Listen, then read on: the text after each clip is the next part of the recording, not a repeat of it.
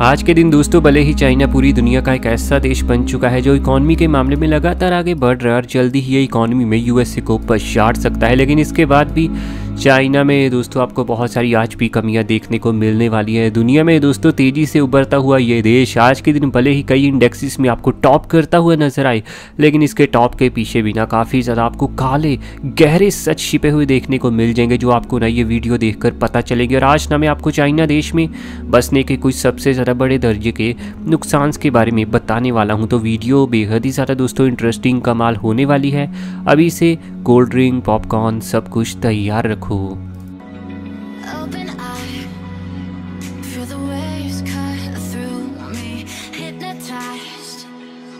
Number एक की चर्चा करें तो नाम आता है दोस्तों, यहाँ पर चैलेंजिंग वर्कलोड का आज के दिन वर्कलोड के मामले में दोस्तों, यहाँ यूरोपियन कंट्रीज़ आपको सबसे अच्छी नज़र आ जाएँगी तो वहीं सबसे वर्स्ट कंट्री जो एक समय जापान हुआ करती थी, आज के दिन यहाँ पर दोस्तों तमगाना ये शीन लिया है चाइना देश ने। यहाँ पर दोस्तों लोगों से ना वर्क बहुत ही ज़्यादा ज़बरदस्ती, कई घंटों तक लगातार करवाया जाता है। एक रिपोर्ट के अनुसार दोस्तों यूरोप में रहने वाला एक इंसान एवरेज तौर पर वीकली तकरीबन सत्ताईस घंटे ही काम करता है। पूरी दुनिया का ये एवरेज आपको बयालीस घंटे देखने को मिलता है, लेकिन चाइना का ये आंकड़ा आपको सत्तर घंटे के आसपास देखने को मिल जाता है। भले ही लोगों को यहाँ सैलरीज बहुत ज़्यादा अच्छी मिलती हैं, लेकिन सच ये भी है कि लोगों को इसके लिए ना रगड़ रगड़ कर बहुत मेहनत से काम करना पड़ता है।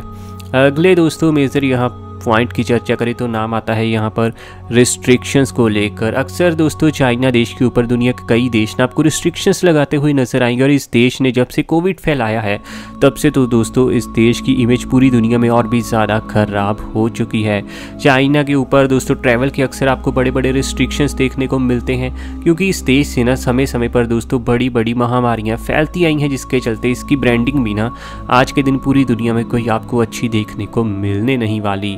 अगले बेहद ही ज़्यादा दोस्तों बड़े पॉइंट की चर्चा करें तो नाम आता है यहाँ पर ब्यूरोक्रेसी का। यहाँ पर गवर्नमेंट के रिलेटेड काम करवाना किसी के लिए भी दोस्तों आज के दिन आसान नहीं है। पेपर वर्क आपको बहुत ज़्यादा करना पड़ता है गवर्नमेंट कामों के रिलेटेड और दोस्तों ऑनलाइन काम यहाँ पर काफ़ी ज़्यादा कम चलते हुए नज़र आएँगे। हालाँकि प्राइवेटाइजेशन के काम ऑनलाइन ज़रूर होते हैं, लेकिन गवर्नमेंट रिलेटेड काम सिर्फ़ दोस्तों हैवी पेपर वर्क के चलते ही हो पाते हैं।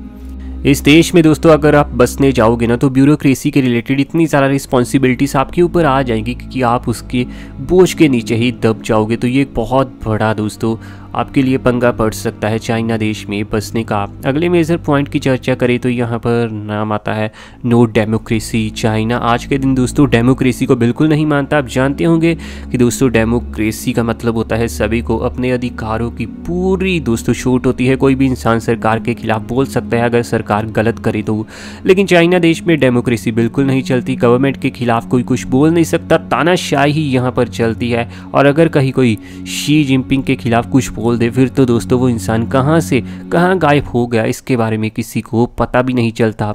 तो लोगों को दोस्तों फ्रीडम नहीं है, भले ही आपके पास पैसा कितना हो लाइफ आपकी अच्छी क्यों ना हो, लेकिन अगर आपको फ्रीडम नहीं होती ना, तानाशाही वाली ज़िंदगी आपको जीनी पड़ती है तो फिर दोस्तों प्रॉब्लम्स तो आपकी ज़िंदगी में बिल्कुल रहेंगी ही। अगले मेजर पॉइंट की चर्चा करें तो नाम आता है लोनलीनेस का। ये नई प्रॉब्लम ना, चाइना में दोस्तों पिछले दस से पंद्रह सालों में ही शुरू हुई है कि यहाँ पर लोनलीनेस के चलते आइसोलेशन के चलते ना, बहुत सारे लोग आपको डिप्रेशन में जाते हुए नज़र आएँगे और बहुत सारे लोग भले ही उनके पास अच्छा खासा पैसा है, लेकिन वो डिप्रेशन में जाते हैं चाइना में।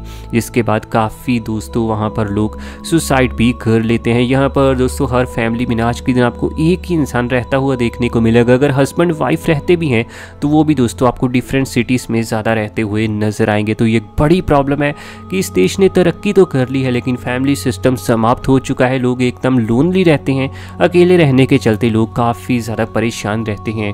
इसी के रिलेटेड अगला दोस्तों जो बड़ा पॉइंट हमारे सामने निकला है, वो है होम सिकनेस को लेकर। चाइना देश में आपको अकेलापन हर समय काफ़ी ज़्यादा महसूस होता है। वहाँ के खुद के लोगों को होता है और जो इंसान दूसरे देश से वहाँ पर मूव होता है, उसे तो दोस्तों बिल्कुल होगा ही, क्योंकि यहाँ के अधिकतम लोग दोस्तों दूसरे देश के लोगों के साथ कभी गुलना मिलना पसंद नहीं करते। जैसे कि अमेरिकन जहाँ दोस्तों ऑस्ट्रेलियंस के साथ दुनिया के बाकी देशों के लोग बड़ी ही इजीली गुल मिल जाते हैं, लेकिन चाइनीज़ के साथ ऐसा बिल्कुल नहीं है। इनके साथ दोस्तों गुलना मिलना काफ़ी ज़्यादा मुश्किल होता है। कल्चरल शॉक्स आपको देखने को मिल सकते हैं, क्योंकि इनका कल्चर पूरी दुनिया से आपको काफ़ी डिफरेंट ही देखने को मिलने वाला है।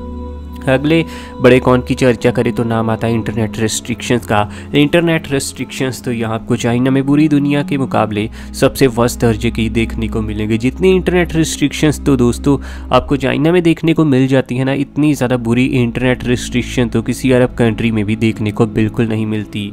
यूट्यूब यहाँ पूरा बैन है फेसबुक यहाँ बैन है व्हाट्सएप जैसी अमेरिकन दोस्तों बड़ी बड़ी ऐप्स बड़ी बड़ी कंपनीज़ यहाँ पूरी तरीके से बैन की हुई हैं और बहुत सारी वेबसाइट्स भी ये दोस्तों। चाइना देश में पूरी बैन है।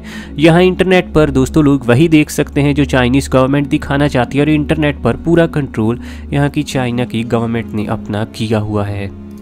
अगले मेजर लेवल के दोस्तों, नुकसान की यहाँ बात करें तो नाम आता है पोल्यूशन का। आज के दिन चाइना की अधिकतम सिटीज़ में दोस्तों, आपको पोल्यूशन बहुत ही ज़्यादा हाई दर्जे का देखने को मिलेगा। भले ही बीजिंग शहंगाई और शेंजन जैसी सिटीज़ आज के दिन बहुत ज़्यादा अमीरी में आगे जा चुकी हैं।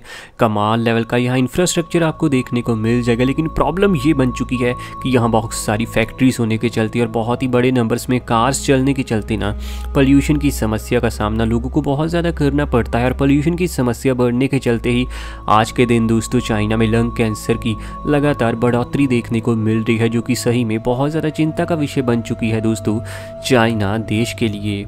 आगे बढ़ते हुए दोस्तों, अगर हम अगले मेन पॉइंट की यहाँ बात करें तो नाम आता है प्राइस राइस का आज के दिन चाइना वैसे दुनिया की अधिकतम कंट्रीज़ के मुकाबले ना आपको ज़्यादा अफोर्डेबल कंट्री देखने को मिल जाएगी। फ़ूड यहाँ दुनिया की अधिकतम कंट्रीज़ के मुकाबले सस्ता है, लेकिन प्रॉब्लम ये बढ़ चुकी है कि जैसे कि आपको पता होगा कि चाइना में ना आज के दिन पॉपुलेशन पूरी दुनिया में सबसे ज़्यादा है, जिसके चलते ना यहाँ हाउस प्राइसिस बहुत ही ज़्यादा तेज़ी से बढ़ चुके हैं। चाइना की कुछ जगहों पर तो दोस्तों हाउस प्राइसिस आपको यूएसए और स्विट्ज़रलैंड जैसी कंट्रीज़ के जितने महँगे भी देखने को मिल जाएँगे। यानी घरों की कीमतों में आपको बहुत बड़े दर्जे की बढ़ोतरी देखने को मिलेगी चाइना में और ये एक बहुत मुश्किल बात बन चुकी है कि चाइना में आज के दिन नया घर लेना सही में काफ़ी ज़्यादा टफ है।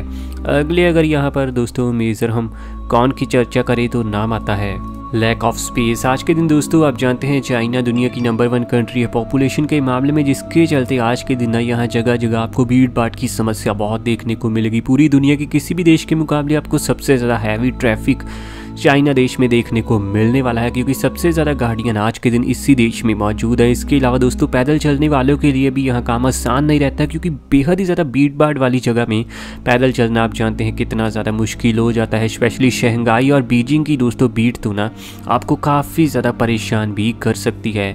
वीडियो के बारे में वैसे आपका क्या कहना है, कमेंट में बताइए, और ऐसी वीडियोस हमें आपके लिए डेली लानी है। चैनल आपका अपना है, रॉक फैक्ट। अभी सब्सक्राइब कीजिए।